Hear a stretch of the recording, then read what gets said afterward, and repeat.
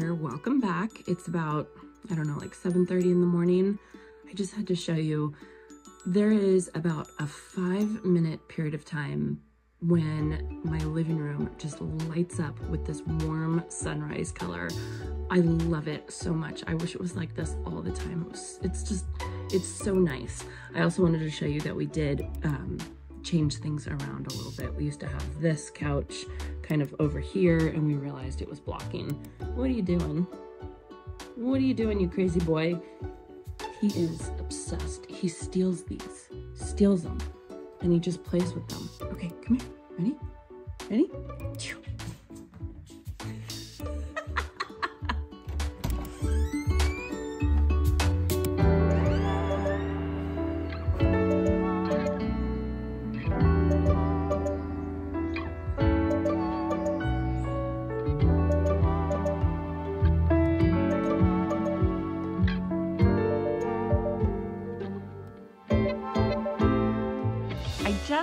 Love mornings out here. I love mornings and I love evenings. They, it is just, oh, it's just so beautiful. Um, so plans for today, nothing, nothing totally specific. Isaac is coming. Isaac is, um, the gentleman who is has been helping me out around the property which is wonderful he he might actually be bringing a friend today he told me he was going to try and talk one of his friends into coming and helping him out which would be just awesome. Um, so I do have a whole new pile of compost right there that I had delivered. Um, and I'm hoping that Isaac and, and maybe his friend will be able to finish up the orchard today, like get it completely covered with compost and like kind of kind of wrapped up a little bit with that. And then and then he can start you know, going to other places. Um, so I, what else am I doing today? I did get a delivery. Sorry, I had to cough. I did get a delivery from colorblends.com, um, some bulbs that I'm very excited about.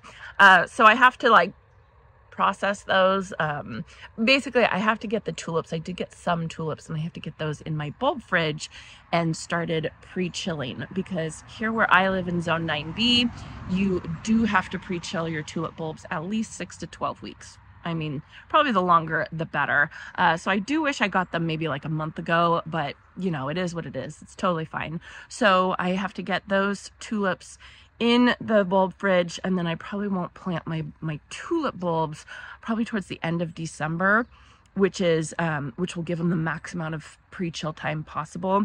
I do not have to pre-chill my daffodils and I got a ton of daffodils in this delivery and they're going to be going in my zigzag planter and I can plant those now. I can plant those anytime now until probably end of December, maybe mid-January. Um, but I don't want to take I don't want to take all my pretty stuff out of my zigzag planter yet, so I'm going to push that off as well.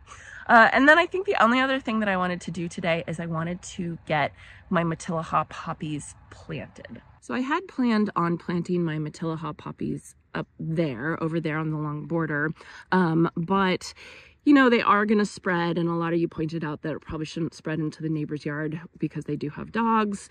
And, um, and I appreciate you guys pointing that out because I just, I didn't really think too much about it simply because I've never had a dog that would eat like plants that were somewhat toxic to them. Um, but, but that is a good point. You never know. So I decided to move my Matilija poppies over this way and they're gonna go along this garden, the willow tree garden bed right here. And I'm gonna put them um, like along the fence right there. Uh, so I think I'm gonna put two, I have two right now. I think I'm gonna put two right there. And then eventually I wanna get a third one and put it right there. But Matilija poppies are known for being super duper finicky for planting. And so I'm kind of worried about it. But the important thing is that you plant it in native soil and it's you want to make sure it has plenty of moisture. So I'm going to take a cue from yesterday when I planted my Beyond Pinked Caryopteris over there. I pre-soaked the holes. I am going to pre-soak the holes over here I need to get all this stuff moved. Um, so I want to plant them in the native soil right here before Isaac brings the compost into the willow tree garden bed. Um, and then, I, I, think I said this, but then if they spread, they're going to spread to this side of the fence. And this side of the fence is just kind of by the road. There's kind of nothing here. Um, actually, I want to tell you guys my plans for this. All right, so this is the front of my property. Literally nothing to look at other than a black fence and some weeds. Um, so I actually, I have one random rose bush right here. It's the funniest thing. I did see it. I did see it bloom one time. It wasn't that. Oh, there are some buds. It wasn't that pretty. But anyway, so I have plans. Well, I have two options and I would love a little bit of input. Um, one thing I can do, excuse me, one thing I can do, I was thinking about planting a native garden bed right here, like a whole bunch of natives that I really don't have to water. And, you know, it's going to be kind of like whimsical and, and messy a little bit and, um, uh, you know, just like really pretty, like a whole bunch of natives. I thought that that would be really cool. Or, or the other option is I can do, because there's so much space out here, let me zoom out. So there's so much space out here, I can do, say, like five Vertigo pennisetums here, and then fill it in with Supertunia Vista bubblegum. Wouldn't that be amazing? So I can't decide which one I want to do. You know, it's like, yeah, it'd be great to have the natives and it'd be wonderful, but how beautiful would it be to have just like this big swath of Super Supertunia Vista bubblegum.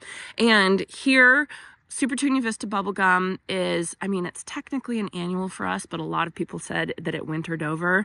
So I'm wondering if I could just like leave all of it out here and like kind of just kind of let it do its own thing um, and see how it does. Oh, I just think that would be really pretty. I just I keep going back and forth. I can't really decide. So anyway, my point is is that the if it if the Matilija poppy spreads out here, it's no big deal because it's right by the road and um, the goats can't get over here because they're they're locked in. You know they they have their own separate gate over there. I mean, if they get out, yes, but you know if they get out, that's that's that's a whole nother issue. So I'd love to hear what you what your opinion is on the front, um, the front garden by the road. Maybe I'll put a poll up. Yeah, that's what I'll do. I'll put a poll up. So look, um, if you i think you have to be subscribed. So go ahead please subscribe to my channel. And then um and then i'll put a poll up and you guys can either vote for the Super supertunia vista bubblegum drift or the native planting bed for the front. And that you know just just i would love your opinion just to see because i keep going back and forth. I'm about 50 50 i think both ways would be super cool but um I don't know. I can't decide. So I will pre-moisten two holes right there for the Matilija poppies. I hope that they will take. You never know. They're so incredibly finicky. And then I am in the market for one more Matilija poppy over here. Um, I'm hoping Van Windens will get their hands on some more. I already asked Eileen at um, Van Windens in Napa to notify me when she gets another one. Uh, and then over here, this is where I planted a whole bunch of bearded iris with Pamela from Flower Patch Farmhouse. And I kind of have showed you all that and that, which is totally a mess. And so these are ground squirrels. Oh, there's another one. Darn it. So these are ground squirrels. A lot of people said, oh, that's too big. I don't think that they are ground squirrels. I'm I'm like 99% positive they're ground squirrels. So I read that if you can see the tunnel, then it is a ground squirrel. If you see just a mound, then it's like a gopher mound, basically. And so you can totally see the tunnels, and there's ground squirrels running around everywhere. And another reason why I think there's ground squirrels is when the arborist came, he saw these holes. I have holes like this in my backyard, and he said that they were ground squirrels. Um, so it's just a really common thing we have here. So I have been looking on the IPM website for how to deal with the ground squirrels. And the IPM website is Integrated Pest Management. Um, I'll link the website down below. I've talked about this a lot before, but it's fantastic. It basically tells you the right way how to deal with any pest in your garden, whether it's a bug or whether it's a fungus or whether it is a ground squirrel or like, you know, something like that. Um, so basically what they said is there's a couple ways that you can deal with it. Um, and some of it involves not so nice things, things that I'm just not really comfortable with doing. Maybe, maybe if I get really, really annoyed with them, I will, um, I will do those techniques. It's like catch and kill and you know and stuff like that. I, I just i don't i don't want to do that. Plus i don't think that there's any point to do that because there are so many ground squirrels like right across the street right there. And so if i catch some here there more are just going to come. So i just don't see any point with that. So my plan is is just to kind of coexist with the ground squirrels. Hopefully, hopefully they will be kind to me and I will be kind to them. And, um, you know, just kind of deal with them and expect that they're going to be here a little bit. And I hope that I will kind of disturb the area so much in my property that they'll just go to the next property over where the ground there is pretty much untouched. I think that they'll be happier there.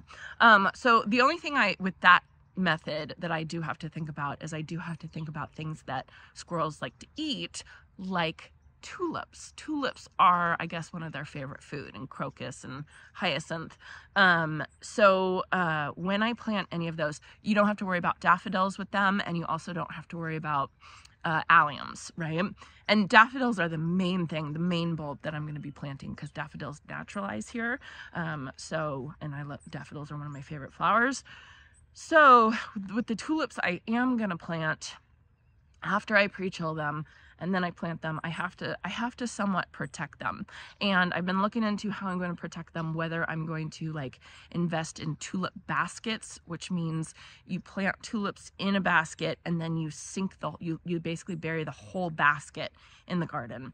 That seems like a lot of digging for me. So the other option is is to plant them and then to put like um, chicken wire or hardwood hardware cloth, sorry, I had to cough again, um, hardware cloth over it to kind of deter the squirrels um, from digging. So I think I'll probably try both methods this first year and see how it does. Um, but yeah, tulips, tulips are beautiful, but you know, they're not, they're not an easy thing for those of us in at least in my area in California. All right, this is turning into a garden tour. I have to stop. this is not a garden tour. Um, so my plans for today are to get Isaac and his friends started on all the compost and everything.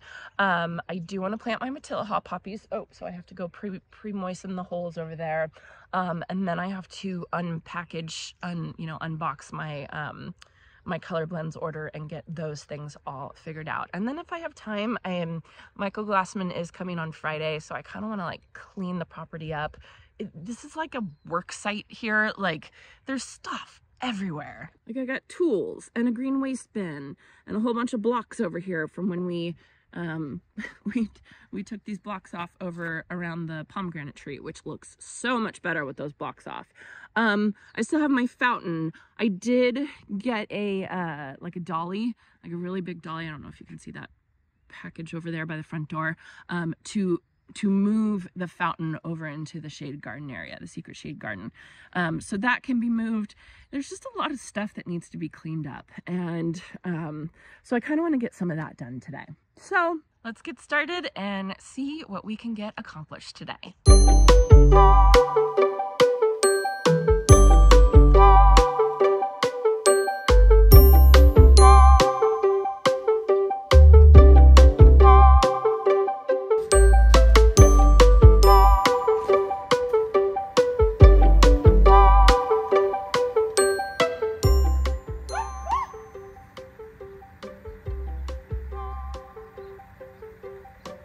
Speaking of rodents in my garden, I started I started watering right here and there's this hole right there and as soon as I started watering a mouse jumped out and ran over there. that, that definitely got my heart going this morning. Um, so I feel bad. That's obviously its home, but not anymore. Sorry mouse, time to go. Time to move. Move to the neighbor's yard.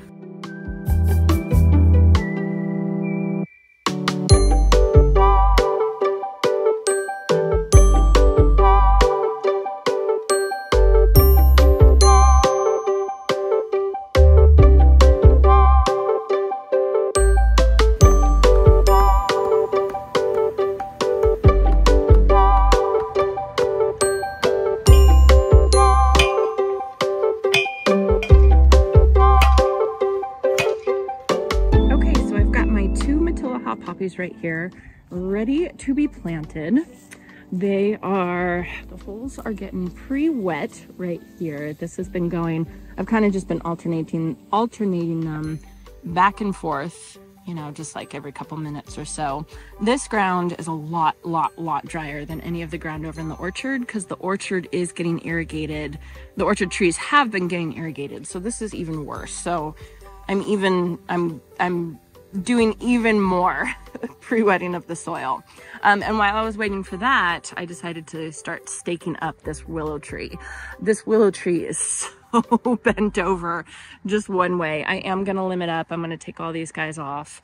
Um, and it's just so leaning over this way. So I'm mainly going to tie it to this one right here. But this setup with the three stakes, I am completely copying what I saw Raphael do at Park Winters in Winters, California. He had a beautiful willow tree there and he had three stakes around it just like this. So that that is the only i'm you know i am not an expert in staking trees but i thought you know at least i'll make it look like that and then i know whenever you stake a tree you really don't want to overstake it like having this guy right here and it kind of strapped, see how it's strapped to it at the bottom? That's not good for it because this tree isn't getting the movement that it needs to develop a strong cambium layer, which is going to make it nice and straight and strong. Um, so I know I need to get rid of this one. I know that I need to stake it up from the opposite side, so definitely this tree, right, this stake right here. Um, but I'm going to leave these other two here just in case like the wind or it starts growing a lot this way, you know, we're gonna see, we're gonna see how it goes. It's gonna be a process, um, and I'll probably get the arborist here just to kind of check my work too. So the problem is is that I reused these stakes from other trees that were around the property, um, so that was nice. But I don't have any like straps, so I basically have to go and find something that I can use for a strap. You basically you want it to be pretty thick. Um, and you want it to be pretty flexible. You don't want it to be too rigid because again, you want that tree to be able to move with the wind. So that movement actually causes the tree to develop a, a better cambium layer to make a stronger tree. Um, and you also don't want anything that's going to dig into the tree. And I'm only going to stake this probably for about a year and then I will take it off, um, you know, and kind of see how it does. But I got to find something that's going to last a year and not hurt the tree and um, and is something that I have here because I don't want to drive to the store and get any straps or anything like that. So I'm gonna go see what I can find. So let me just show you real quick. This is my apricot tree and this tree had stakes like all over it. And I actually had Isaac remove the stakes last time he was here, but they used wire to stake the tree, which is not good at all. And they did use a couple, um, these look like washcloths or something to kind of uh, cushion the tree, but wire is, is pretty much the last thing you want to use for any type of straps. So that is what not to do. And into my messy garage I go. Jason and I were talking this morning saying it looks like it's full, but it's not full. It's just nothing is put away where it needs to be. Like nothing is organized at all. So I'm kind of excited for it to start raining so I can get out here and I can start organizing. Um, okay, so I have this stuff. This is what I usually use to tie up any plants, but I don't think that this is going to be strong enough for the willow tree. Um, so I don't think I'm going to use that. My other idea was like to, these are like, this is like old bedding um, that uh, the girls were not using anymore. Um, so we were either going to donate it to like, um, what, what do you call it? Like a, like a dog shelter. Or I was thinking I can cut it up and use some of this. I think that that would work. Let's see what I have in here. Sorry, it's so dark. Okay, let's see. I have bird netting. I don't think that will work. I have tomato clips. I have a huge bag of perlite. Oh, I can't find anything. I could always use spaghetti tubing burlap. I think that's what I'm going to use. I think that would be perfect. I think I'm just going to cut this into strips. And yeah, okay, that's what I'm going to use. There we go. I knew I'd find something.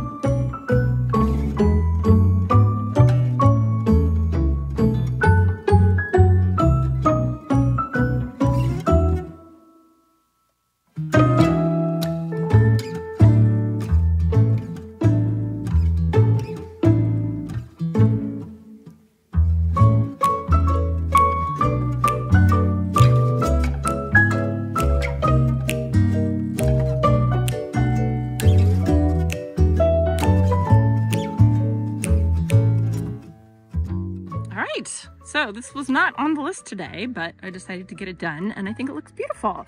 Uh, so three stakes all the way down into the ground. They're nice and secure. And then I got one piece of burlap there. I don't know. I'm gonna have to look at the the straps and decide where I need them because the willow tree kind of looks curved a little bit. So I'll just have to watch it and kind of figure it out. Um, and then decided to paint them black. And of course got my shirt all messy. So this is now a painting shirt. Where is it? Right there. That's okay. So that looks really good. Now, let's see, I have watered the holes for a pretty long time, so I'm going to try and dig them uh, with the power planter. The guys have been working hard. They are getting all the compost in. You can see that. They're doing a great job. Super hard workers. They're amazing. Uh, so we're getting a lot done, and I think it's only like 10 o'clock.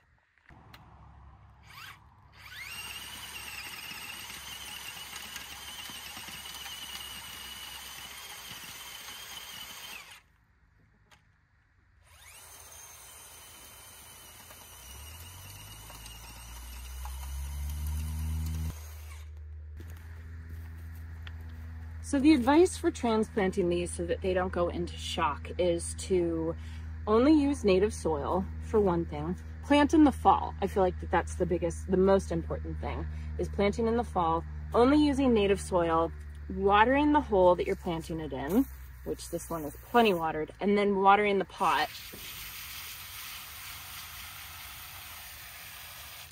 So it comes out the bottom. Come out the bottom. There we go. And then just taking it out and putting it in and not messing with it at all, not messing with the roots or anything like that. So I'm just going to carefully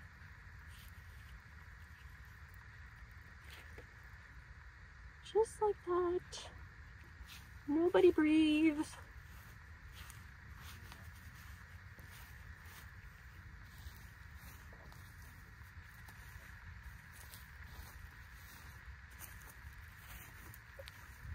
And that's it. That's all I'm gonna do.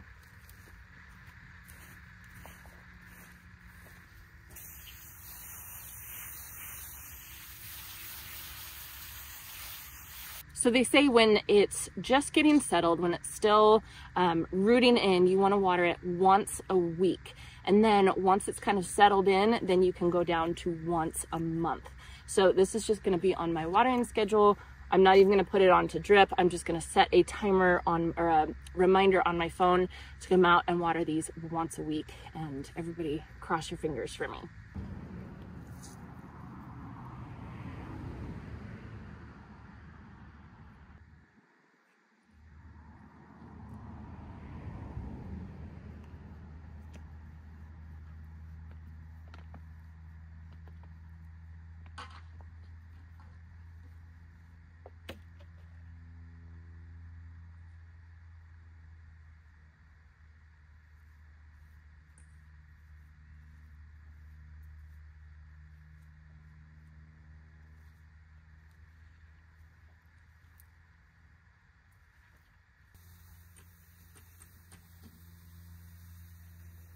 So the only other thing I wanted to get done today for sure is I wanted to open up my uh, my bulbs from colorblends.com.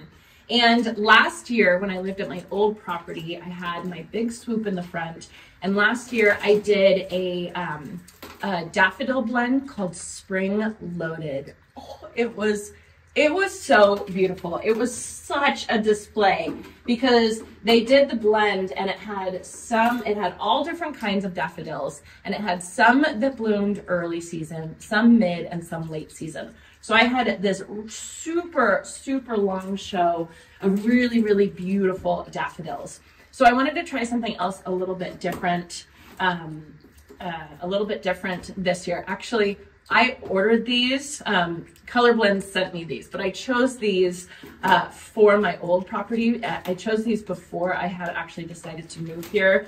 Um, and so it's pretty lucky that I have my zigzag planter because whatever I put in my swoop, I'm just going to put in my zigzag planter now. So um, I chose a different blend and it's called Bloom Factory. It's a daffodil blend and it's supposed to be like just intense, intense blooms. And it says that if you plant them close enough, you basically you can't even see the green foliage. All you're supposed to see is you're supposed to see the the bloom heads of these daffodils. So I'm really really excited to try them out. I know I just looked at the Colorblends website and Colorblends um, the spring loaded mix that I bought last year that I love so much. That's actually already sold out for this year. So that's that's the rough thing about bulbs is that you have to kind of plan ahead and you have to order before you're even thinking about it, honestly, or else you don't get the best choice or you might not get what you want. So the spring loaded mix is already sold out, but the Bloom Factory mix is not sold out yet. So if you all are interested in that, go online and grab it right away. So let's see, I think I got, I think I got 500 of the Bloom Factory very exciting. So for these, I do not have to um, pre-chill these. I am just gonna put them in room temperature, you know, kind of in a dark place. I'm gonna put them in my office with my other daffodil bulbs. And then probably like around Thanksgiving, I will probably plant them in my zigzag planter. Now, when last year when I had my uh, spring loaded mix in my front swoop, there was one daffodil in particular that was so beautiful. It was like this this creamy white one and it would like it just stood out from all the rest. And i thought we were i you know i was asking you all if you could identify it because that's the thing with these blends. They don't really tell you exactly what varieties are in it. So sometimes you kind of have to guess. So we were trying to guess what the white one was in the um, i keep forgetting the names of them the spring loaded mix. We were trying to guess the name of the white one. And um, so we were, uh, you know, trying to think it out, think, think of which one it was. And Colorblends actually contacted me and said, no, that's a new one. That's a newer daffodil that we're just introducing. And we first introduced it in the Bloom Factory mix. No, the spring loaded mix. And now they are selling it individually. So that one is called Watch Up and it's right here. Not much to see. I'll put a picture on the screen right now. It's called Watch Up, and it is in real life. It's beautiful. I'll see if I can find pictures that I took of it last year. So I have to find a really good place for these creamy white uh, daffodils. They're so, so, so pretty. So I got a hundred of those. And then finally, I wanted to try one of their tulip blends. I've actually never tried one of the Colorblends tulip blends. So this one is called Gentle Giant. And my favorite tulip by far is the Big Love tulip. Um, you know, she's kind of like this classic clear pink tulip. It kind of reminds me of Supertunia Vista bubblegum pink. Like it's just a beautiful, beautiful tulip. Um, and so these kind of reminded me of that. It was, you know, it was kind of different uh, different shades of pinks and like light purples and stuff like that. It looked really, really pretty online. The picture looked pretty online. So these are what I am going to put in my bulb fridge in my garage right now. And they need to chill, like I said, six to 12 weeks. So let's see, it's mid-October right now. So the earliest that I can plant these are like the first week of December. But I'm going to plant them the last week of December, so then that will give me about 10 weeks of chill time, which I think I think will be perfect. And these I do I have to protect from the squirrels, but all this other stuff I don't have to protect. And all this other stuff should naturalize in my zone 9B garden and it should be really, really happy. So good bang for my buck right here. Little bit of a splurge with the tulips. Um, and way more work and way more way more effort but i think it'll be completely worth it. So let's go put these in my bulb fridge. All right so out here in my garage here is my bulb fridge. Yes i know that's a very big fridge for a bulb fridge but this was the fridge that was inside when we first moved in here and so instead of just tossing it or selling it we just stuck it in here and we use it. I use it. I use it for my bulb fridge So here you can see there's some bags from Costco. These are the ones that I got from Costco. Um, so they've been in here probably like four weeks, I would say, four or five weeks. And again, I'm not going to plant these until December. Um, so they are doing really, really well. This one right here, they don't need to be refrigerated. This is just in here because I actually bought this last year and um, I never ended up planting them. So we just left them in the fridge and same with this muscari right here. And uh, I'm going to plant them to see if they will bloom, but I, I, don't have high hopes for them. Muscari, you do have to refrigerate in my zone, in zone 9B. Okay, so I am just going to put these down here. And that's it. That's it. I think Jason, I think Jason just put this in here. Yeah. So this, this for the bunnies. It's a little bunny treat. Um, one thing with bulb fridges is you don't want to put fruits or vegetables in, uh, in, in with the, the bulbs because the ethylene gas that comes off of fruits and vegetables like bananas or apples or, um, tomatoes or stuff like that, that is going to actually damage uh, the bulbs. It's going to mess with their, their uh, chemical, I don't know, development, I guess is what I'll say. So, I mean, this would probably be fine because it's just spring mix, but I'm, I'm going to take it out anyway. It shouldn't be in there. So there's my bulb fridge starting to fill up and yeah, that's it. So goal is about 40 degrees Fahrenheit is what you want. And so I think, I think this is probably around, I had a thermometer in here earlier. Um, I, I my fridge inside you can actually set to the temperature. This one I just have to kind of guess. So yeah, you just want it to be around there and do not freeze them. That is not what you want to do. All right, so I think that's going to be it for today. I got a lot of stuff done this morning. It's, it's only about noon right now. Uh, Isaac and his friend Milo are working hard in the front yard. I will show you all tomorrow what they did because it's it's looking really really good. Um and so let's see i got the poppies planted i got the bulbs unpacked and chilling and then i got that willow tree staked up which is fantastic. So right now i can see i gotta go water everything for sure. It is mid-october. I thought it was going to start getting cooler but it we're in the 90s today and i think tomorrow is going to be 94 which is i'm done I'm ready for some cool weather. So I am off to go water. I hope you all enjoyed this and I hope you all have a chance to get in your garden today.